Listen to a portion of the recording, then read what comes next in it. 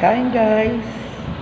Dinner after Mass, 7 to 8 p.m. Mass at Harrow Cathedral.